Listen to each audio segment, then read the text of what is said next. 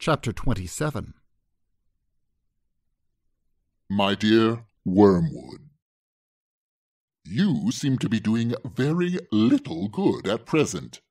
The use of his love to distract his mind from the enemy is, of course, obvious, but you reveal what poor use you are making of it when you say that the whole question of distraction and the wandering mind has now become one of the chief subjects of his prayers.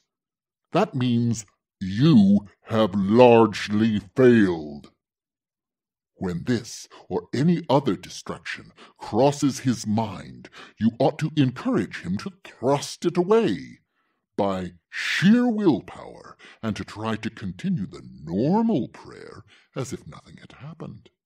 Once he accepts the distraction as his present problem and lays that before the enemy and makes it the main theme of his prayers and his endeavors, then, so far from doing good, you have done harm. Anything, even a sin, which has the total effect of moving him closer up to the enemy, makes against us in the long run. A promising line is the following. Now that he is in love, a new idea of earthly happiness has arisen in his mind. Hence, a new urgency in his purely petitionary prayers about this war and other such matters. Now is the time for raising intellectual difficulties about prayers of that sort. False spirituality is always to be encouraged. On the seemingly pious ground that praise and communion with God is the true prayer, humans can often be lured into direct disobedience to the enemy, who, in his usual flat, commonplace, uninteresting way, has definitely told them to pray for their daily bread and the recovery of their sick. You will, of course, conceal from him the fact that the prayer for daily bread, interpreted in a spiritual sense, is really just as crudely petitionary as it is in any other sense. But since your patient has contracted the terrible habit of obedience, he will probably continue such crude prayers whatever you do.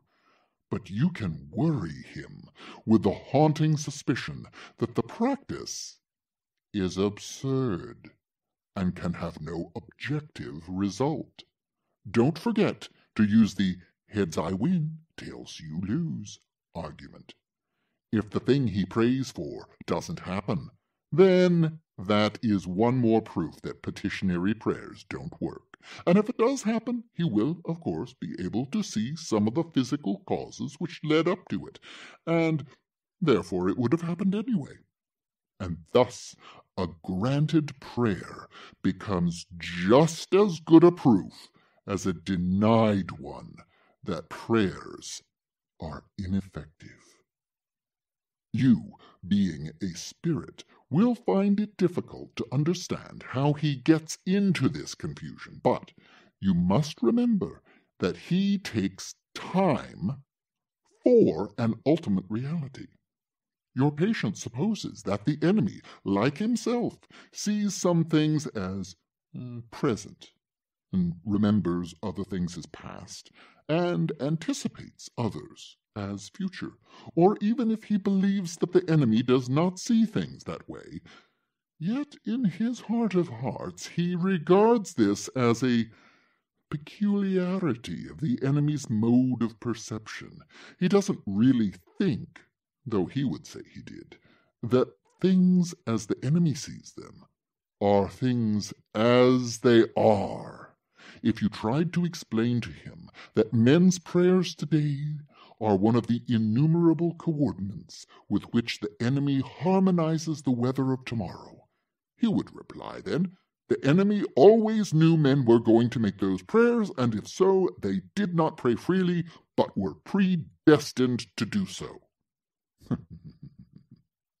And he would add that the weather on a given day can be traced back through its causes to the original creation of matter itself, so that the whole thing, both on the human and on the material side, is given from the word go.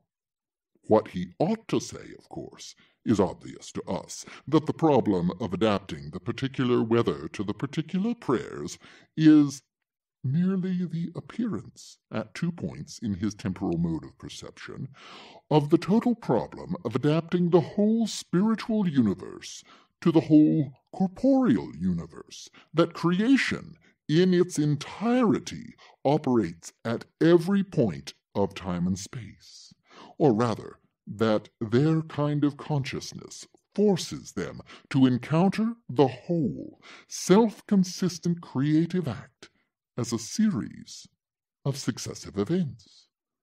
Why that creative act leaves room for their free will is the problem of problems, the secret behind all the enemy's nonsense about love. How it does so is no problem at all, for the enemy does not foresee the humans making their free contributions in a future but sees them doing so in his unbounded now. And obviously, to watch a man doing something is not to make him do it.